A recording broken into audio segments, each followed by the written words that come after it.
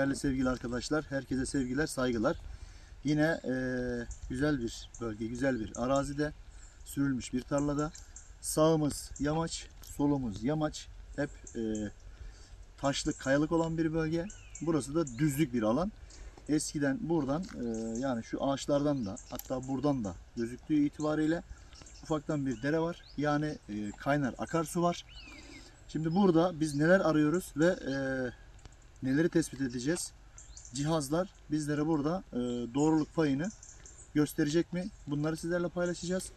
Değerli sevgili arkadaşlar bakın e, yılbaşı sonu geliyor. Videonun başında konuşacağım. Şimdi malumunuz hiçbir şey yerinde durmuyor. Fiyatlar tavan yapmış durumda. E, benzindi, mazottu, dolardı, euroydu vesaire vesaire altında bunlar hep yükseliyor. Otomatikmen e, bu cihazlarda yapılırken parçalar alınıyor.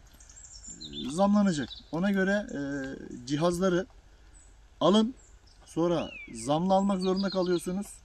Zamlandıktan sonra. Çünkü konuştuğum, görüştüğüm çok kişi var. Bunu ben her sene bir önceki videoda da söyledim. Böyle tekrarlama yapıyorum. Bilginiz olsun diye. Zaten gidip çekim yaptığımız arazilerde, yerlerde, bölgelerde ve bana gelen e, sizin almış olduğunuz cihazların çekim yaptığınız yerlerde yaptıkları mevcut. Şimdi burada biz e, ne arayacağız? E, kabataslak dediğim gibi arazinin koşullarını, şartlarını, yaşam yerini e, araştırıp bakıp işte odaları varsa e, bu bölgelerde odalar mı olur, tüneller mi olur, girişler mi olur ya da mezarlar mı olur vesaire vesaire farklı şeyler mi olur? Bunları tespit e, yapmak için arazilere çıkıp cihazlarla bakıyoruz. Alan tarama Leon Karon 3D yeraltı görüntülemesi ve bana şu Karon'la ilgili sorular soruluyor. İşte e, manyometre mi, e, gladyometre mi, işte geometre mi bilmem ne. Arkadaşım diyorum ki 3D görüntüleme sistemi. Yani e, toprağın altını, kayanın içini ultrason bir şekilde cihaz görüntüleme yapıyor. Ama elin oradaki tuşta ya bir basarsın lap diye gider o parmak ha haberin ola. Şimdi arkadaşlar biz buraya daha önce geldik. Daha önce burada bir çizimler yaptık. Şişi de getirdim. Şişle şişleme yaptık. O şişleme yaptığımız yeri ve burada yine bir iki tane şişleme yapacağız sizinle. e, mesafe olarak, yakınlık olarak ölçüm alacağız. E, şiş tıkanıyor mu tıkanmıyor mu buna bakacağız. Burada ilk önce benim yapmam gereken hareket arazinin işte bölgenin sürülmüşlüğünü e, ortalama yukarıdan burayı baz aldığımız zaman bir buçuk metre fazla olarak orası yüksek biz aşağıdayız. Bir de burası belli bir şeyde sürülmüş sürülmüş sürülmüş artık toprak inmiş. Yani e, bir buçuk metreden daha alçaktayız biz. E, mezarların yani mezar varsa ya da oda varsa girişi varsa derinliklerini burada sizlerle tespit edeceğiz tekrardan. Ben e, cihazı kaldırıp bana hareket ettiğimde yön vermesini bekliyorum. O yön doğrultusunda cihazın vermiş olduğu tepkilere göre de yürüme yapacağım. Yani burada bana ne çizdiğini anlamaya çalışıp anladıktan sonra da tabi toprak biraz geri çıkarsa daha iyi olacak. Şimdi bakın arkadaşlar. Bana mezar tarzı çizimler yapıyor.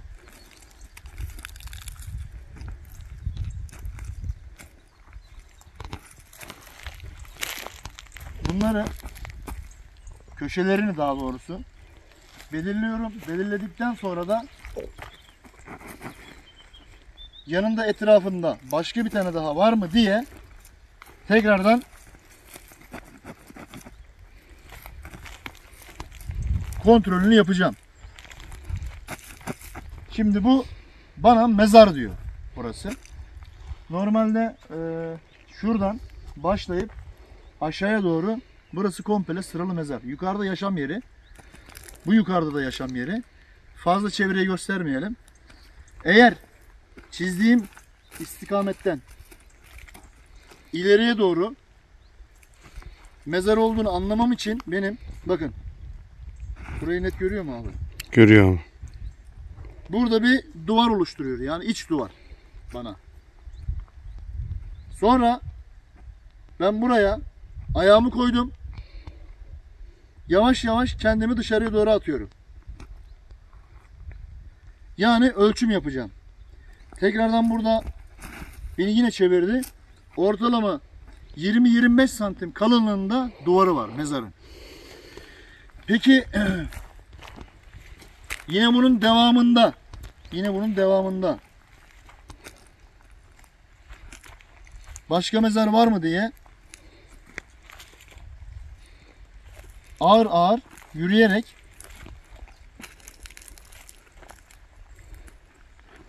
şimdi kalınlıklarını anladıktan sonra mezar olarak kalınlıklarını anladıktan sonra sırayla bunun etrafında işte ileriye doğru e, bu tarafa doğru yukarı doğru çizimler yapıyorsunuz. Yaptıktan sonra bu mezar odanın içinde mi odanın dışında mı ya da efendime söyleyeyim burası mezarlık alan mı diye bunu tespitini yapın. Anlayın. Şimdi e, arkadaşlar mesela cihazlarla çizimler yapıyor. Benim kendi cihazımdan örnek vereceğim. Cihazlarla çizimler yapıyorlar. E, bir tane mezar çiziyor. Zannediyor ki bu mezarı odanın içinde değil. İşte herhangi bir yerde çiziyor. Bir de ölçüm alıyor böyle. Ölçüm alırken işte gösteriyorum nasıl ölçüm alınacağını. Ölçüm yaparken, alırken şimdi cihaz dönüyor. Dönüyor. Diyorum ki içinde geziyorsun mezarın boşluğunu alıyorsun. Duvarın kenarına gelip duvarın kenarından dışarı doğru çıkıyorsun. Giderken bunu bak yamultma olabiliyor. Yamultabiliyorsun. Yani net bir ölçüm alamazsın. Eğer burada bir çizim yapıyorsan, içerisinde sana boşluk veriyorsa bu işlemi e, burada kazı yaparak gerçekleştirebilirsin. Çünkü sen bununla net bir ölçüm alamazsın. Alma şansın yok. Çünkü cihazı daha net tanımıyorsun. Cihazı net bilmiyorsun. Biz kezaki yaparken zorlanıyoruz. İşte senin gösterdiğin gibi yapıyoruz. Senin anlattığın gibi yapıyoruz. Tamam. Benim gösterdiğim gibi zaten mecbursun yapmaya. Cihazı anlamak, tanımak için. Ama sonuca gitmedikten sonra cihazın gerçekçiliğini anlayamazsın. Şimdi arkadaşlar ben e, şişin olduğu yerde size tekrardan göstereceğim. Yeraltı ile yine bir çekim yapacağım. Yaklaş abi bana doğru. Sen şey yapsana. Biz bir taneyi buraya vurduk. Geri kalanı buraya vurduk. Sen gel bana doğru toprak abi. Sen orada kal abi.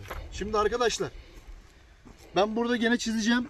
Dün bizim bir, iki, üç tane bir tane de buraya vurduğumuz bir e, şişleme olayı var.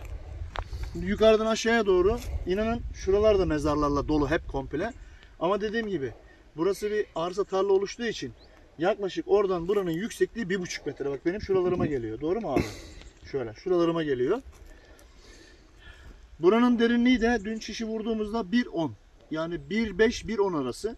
Ortalama 2,5 metre belki 2,5 metreden biraz daha fazla derinde mezarlar. Ee, Tabi inerken toprağın e, katmanını kimse bilmiyor. Dövülmüş bir toprakla mı yapılmış? Mezarlar yapıldıktan sonra burada gezi- gezintiler yapılır. Hani bu e, taşların içine oyulup da büyük böyle köylerde olurdu. Köy evlerinde, bacılarında. Karları temizlemek, küremek için. Onunla ya da atlarla ya da insanların e, işte kireci karıştırıp da daha sertleşmesi için yağmur yağıyor, kar yağıyor, su, nem e, daha sert bir hale gelmesi için kireç katılıyordu. Şimdi mezarların yapılma sistemi bir odanın içinde mi gerçekten yoksa yüzeysel olarak mı yapılan mezar hattı mı burası? Ee, Tabi bu kadar derini açıp gömmelerinin sebeplerini ben çok kez videolarda konuştum. Yani vahşi bir hayvanın gelip eşeleyip de içerideki kemikleri ya da herhangi bir şeyi dışarı çıkarmasın mantığıyla ve e, kimsenin ulaşamayacağını düşünme, düşündüğü için bu kadar derinlere yaparlar. O- e, ortalama e, mezarları yaptıktan sonra ne yapıyorlar abi? Bütün çıkan toprakları çünkü içini şey yapıyor. E, duvar yapıyor taşlardan. E, haliyle e, ortalama nereden baksan 80-90 santim mezar yükseliyor. E, bu toprakları ne yapıyorlar? Atıyorlar buraya. E, ne oluyor? Mezar bu sefer yükseliyor. Toprağa koyduğu için yüksek oluyor. Sonra buralarda gezintiler yapılıyor. Dövülüyor. E, aradan da geçiyor 1000 yıl, 2000 yıl. Ne oluyor bu toprak? Zamanla zamanla zamanla oturuyor. Yağmuru yiyor, karı yiyor, nemi yiyor, sıcağı yiyor. Ondan sonra da sertleşiyor içindeki kireçle beraber. Derin koymalarının, derin yapmalarının amaçlarından bir tanesi hem bir vahşi hayvanın gelip eşeleyip çıkarmamasıdır. Hazinesini ya da kemiklerini ya da kimsenin çok kolay ulaşmaması. Çünkü kalkacaklarına inanıyorlar. Şimdi arkadaşlar cihazı dediğim gibi kaldırıyoruz böyle havaya. Ne zaman gelse geliyor böyle kalk kalk kalk kalk. Şimdi ben buradan oraya kadar geleceğim. Bak normalde burada atıyor. Birazcık ileri doğru tekrardan duvarı yapıyor. İçine girdik boşluk. Mezarın içindeki boşluk. Geliyoruz. Tekrardan duvarı yapıyor. İç duvarı. Sonra dış duvar. Tekrardan içeri giriyoruz. İçeri girdikten sonra burada bir tane daha duvar yapıyor. Sonra bir daha bir duvar daha. Yani biz şu an bu tam duvarın yani iki mezarın arasındaki duvarın üzerinden şişleme yaptık. Bunlar da ortası.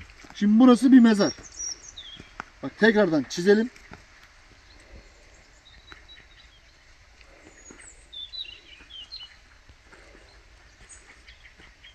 İç duvarı, dış duvarı. Buralara bir taşlar koysana bir daha tekrardan.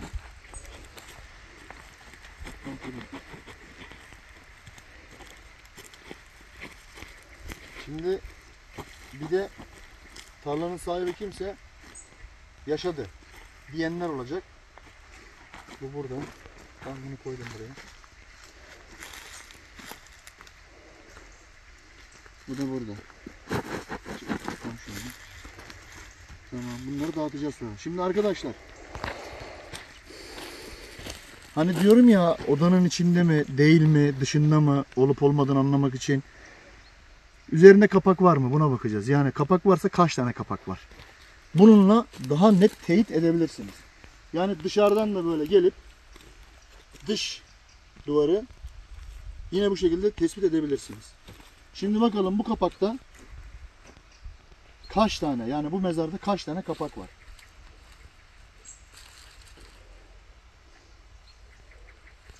Yani bak burada atıyor beni. İki kapak ya da 3 kapak.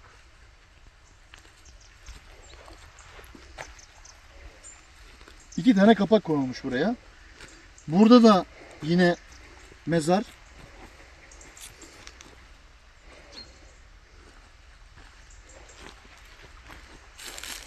Şimdi bu mezardaki şeylik e, içinde küp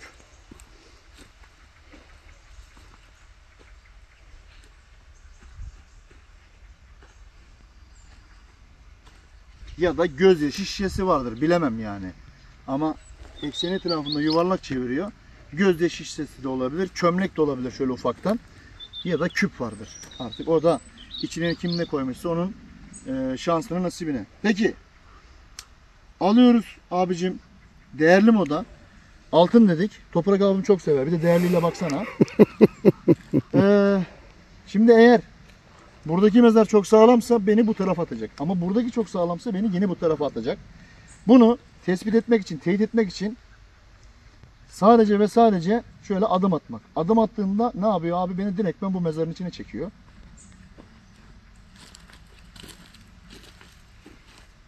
Şimdi sen böyle sürekli yerinde kalıyorsun ya. Sana şu cümleyi kullanacaklar. Robot gibi orada dikilmiş abi. Biraz yakınlaşsa gösterse falan diyecekler. Şöyle biraz sağlı sollu gezinti yaparsan daha güzel olur. Hani robot gibi dikilmiş abi orada kalmış sen anlatıyorsun ama ne anlattığını biz anlamadık diyenler olacak sana. Hani şöyle birazcık seni kendini hani kamera böyle yapar ya şu şekilde. Böyle yapar ya. O, onu gece yapacağız. Onu gece yapacağız. Sen hani biraz oynama yap ki yakınlaş yap ki ben ondan dedim ben. Şimdi arkadaşlar altın modunda buraya atıyor. Ee, burada hani e, cihazdaki işte kurşunun olmasının sebepleri eğer bu mezarda bir kurşun varsa, mühürlenmişse bunu kapatırlar. Şimdi yeraltı ile ben çekim yapayım. Alan taramayla çizdik. Altın modunda bize attı. Tabii ki nasip. Yani gerçekten bunun içinde altın var mı? Gerçekten burası bir mezar mı? Cihaz çiziyor. Bunu anlamanın yegane sebebi tek yolu burayı açıp ve bakmak. Peki burayla ilgili soranlar, düşünenler, merak edenler var olacak. Ne yapacağız Toprak abi? Yeraltı görüntüleme yapacağız. Sonra hani ne yapacağınız diye soracaklar mesela. Atacağınız mı diyecekler. Ha, Şimdi ya nasip. Kimin nasibindeyse. Şöyle yapalım. 1, 2, 3, 4, 5, 6, 7. 1, 2, 3, 4, 5, 8. Şimdi çekimi yapalım. Onu mu çekseydik? Küp var dedik ya. Sen bu tarafa çek. Hı? Veya ikisini beraber çek. O zaman çok uzuyor ya. Öyle mi?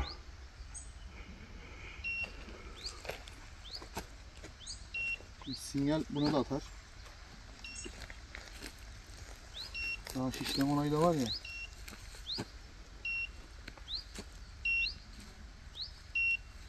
Sekiz yaptık fazla oldu ya. Yedi yapacaktık aslında.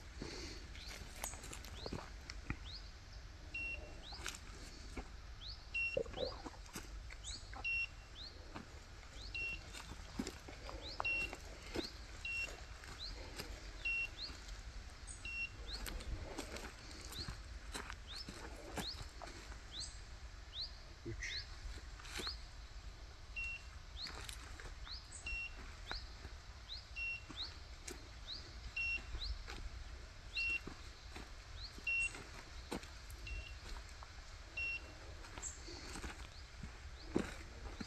Bana doğru gelebilirsin. Bana doğru gelebilirsin. Orada çok takılı kalma. Pilimi zayıfladı Toprak abi. Pilimi zayıfladı. Seni tam alsın diye burada bekliyorum canım hiç. Kamera benim işim.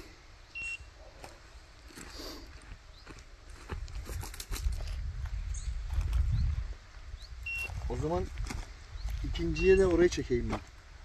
İki tane ayrı ayrı yapalım.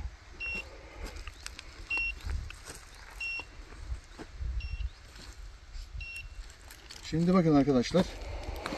Çekimi yaptık. Çekimi yaptıktan sonra bak.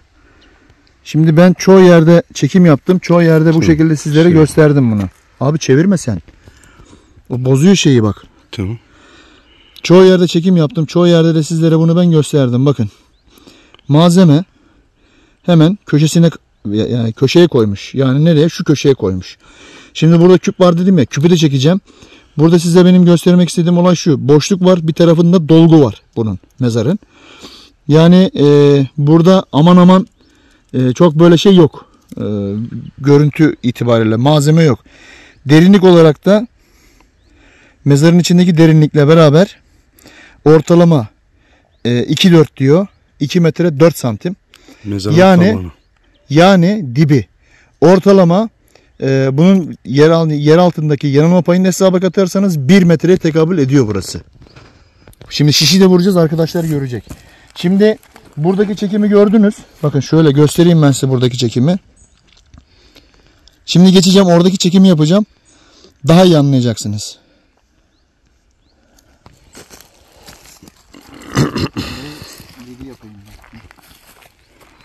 Bunun doğru neredeydi? Şuradan başlıyor. Evet. Evet şöyle gel abi.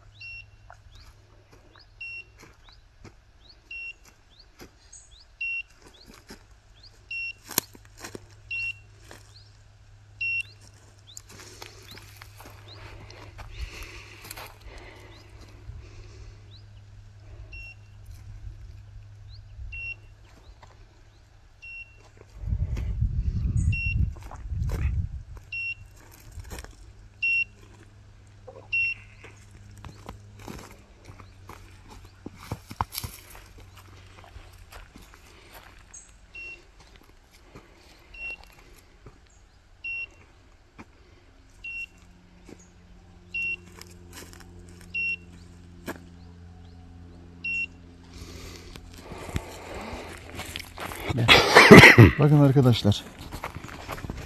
Bir önceki çekim bir sonraki çekim. Bu da hemen hemen üzerindeki toprak katmanıyla 2.1 yani yine 2 metre tekabül ediyor. Bak az önceki çekim bu. Yani dedik ya küp müp. Bak boşluklar dolgu. Bunları boşluk dolgu. Yani bir tarafı yüksek bir tarafı alçak diyor bunun. Malzeme yine küp var dedim içinde bunun. Yine bu tarafa atıyor malzemeyi. Yani takı da olabilir. Eğer e, küpün içinde gümüş varsa olabilir. Bronz bilmiyorum. Çıkar mı çıkmaz mı? Bununla görüntü de bu. Bir önceki görüntü, bir sonraki görüntü. Şu şeye bir geçeyim bakalım.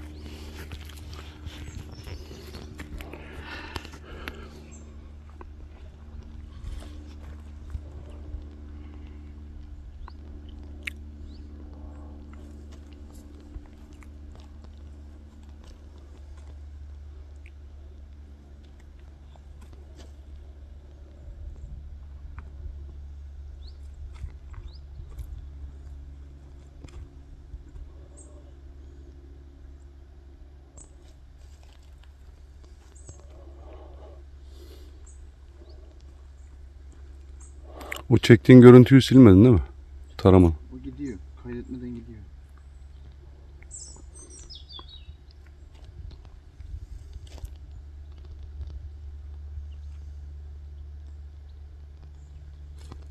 Yani içinde takı makı varsa ona şey yapmaz. Ötme yapmaz. Bununla burada sesli taramada birazcık dolaşacaksın. Sağa sola. Buna geçelim.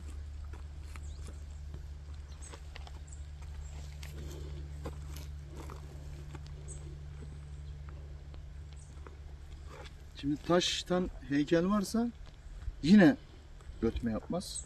Sen ne yap biliyor musun? Sen bunu al. Böyle birazcık o taraflarda bir turak bakalım. Sesli taramada. Ben şişe atlatıyorum. Abi yaklaş sen bana doğru. Şimdi bakın arkadaşlar.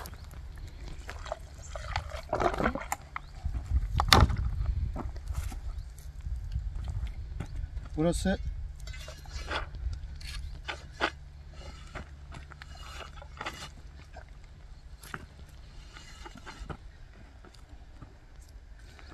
Bunları çıkarayım ya. Mezarın duvarı. Of. Abi yaklaştı sesini duysunlar. Ses almak için yaklaştık. Çok yaklaştın ama. Ha? Çok yaklaştın. Al, alır. Oh. Tak tak tak vuruyor. ha. Daha bu sesimi Şimdi duyamayacaklar. arkadaşlar.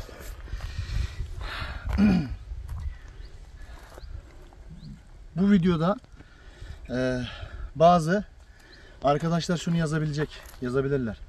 Böyle bu tarafa atma ki güneş taşa denk gelmiştir. Tabii ki eee, bu işleri bilip de burada eee, toprağın altında taşa gelip gelmeyeceğini bizler de düşünüyoruz. O muamma. Ama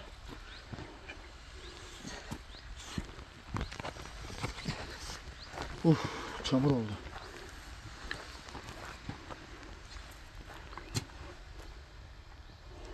Peki.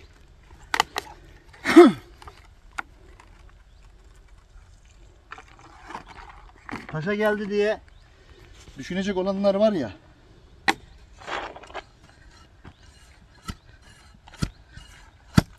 Ta buraya geliyor ya. Yine Taşa geldi zın, diye düşünecek olanlar için. yine zıngıllattı. Bak özellikle gitmiyor. Sonra hani bazı Buraya mı vurduk, buraya mı vurduk ya? Orası orası. Buna mı vurduk? Hayır hayır. Öteki. İlk döktün. İlk döktüm değil mi? Evet.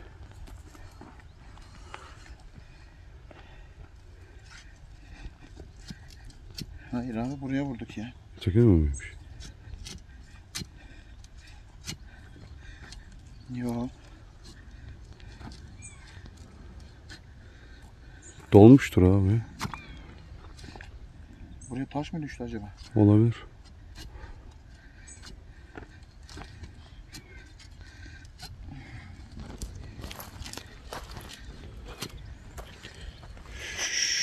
Tamam ona da vuracağım dur. Heh, geçti şimdi. Şimdi bakın arkadaşlar. Yaklaşayım yine. Yine bir şey. Aynı şey. şeyde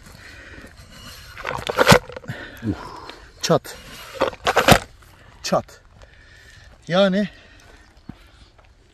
1.80 1 metrede kalıyor. Yani 1.80 dedi şişin boyu 1.80. Şimdi boyu 1.80. 1 metrede kalıyor. Şimdi buradan çıkartıyoruz.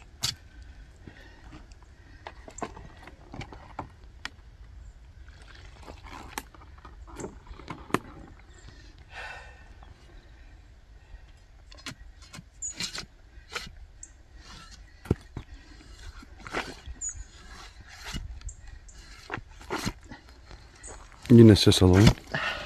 Gel. Of of of, of her yerim titredi.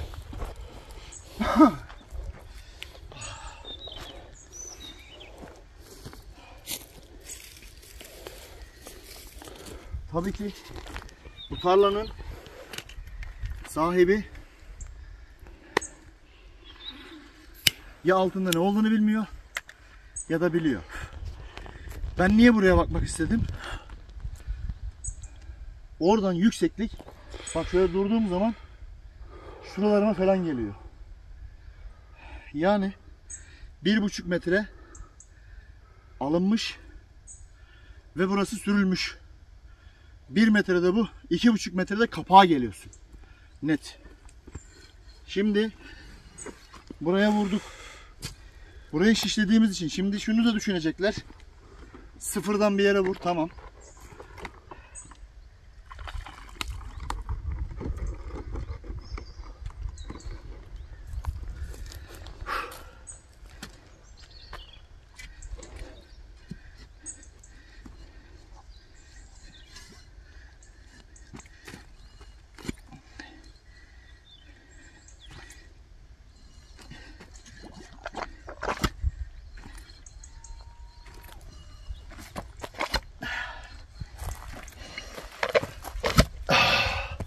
Bu da kalıyor. Sesler geliyor. Gitmiyor. Bir daha vuralım.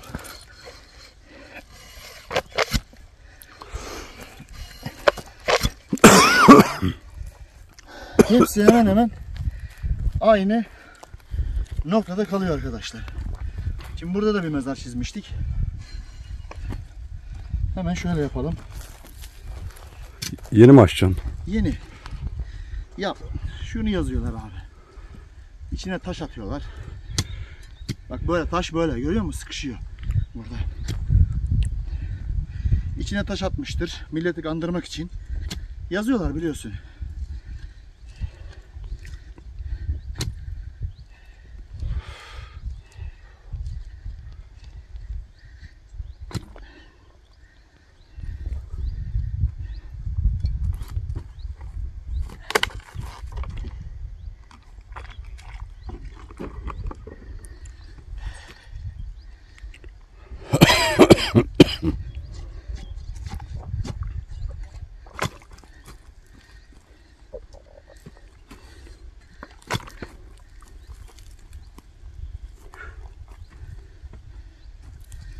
Toprak çok sert.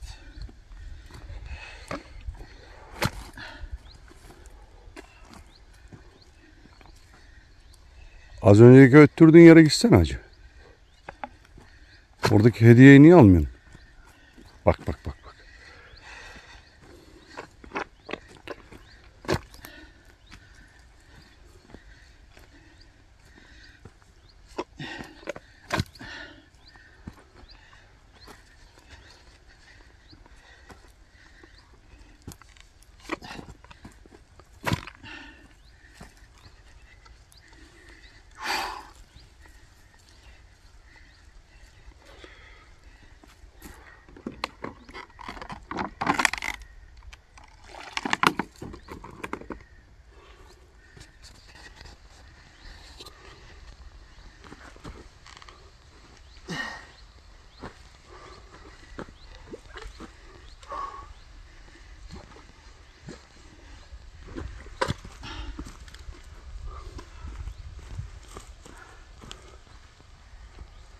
Sen gel buraya da.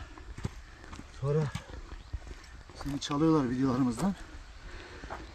Orayı bu aldı, bu buldu, şu açtı diye. Yaptık var. sa- sadece orayı keserler. Ben ben yaptım derler. Bizim cihazlarımız biz bulduk.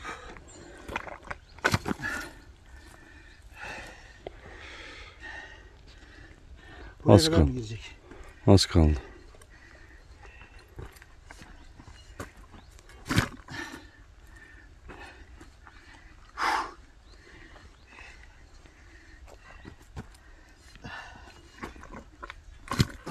Geldi. Geldi. Bir iki daha vurmalık.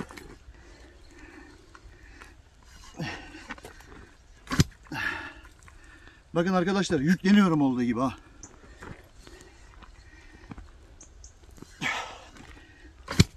Oh Duydun değil mi sesi? evet. Şimdi verdi. Bir daha vuralım. Biraz yaklaş abi sesi duysun. Çok yaklaşma abi. Ses Çok geliyor. Her halükarda geliyor. Tok diye veriyor sesi. Net görmüyor. Gel de. Gel de çok gelme.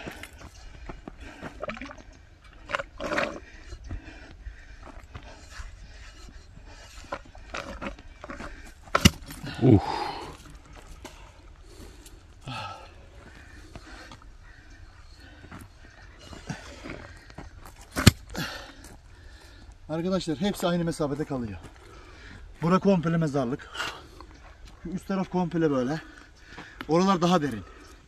Ama buralar dediğim gibi tarla olarak yapıldığı için ki zaten çok taş var.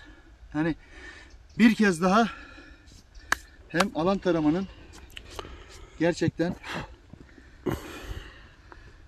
böyle güzel çıkıyor muyum? Yakışıklısın. Gel gel. Gel.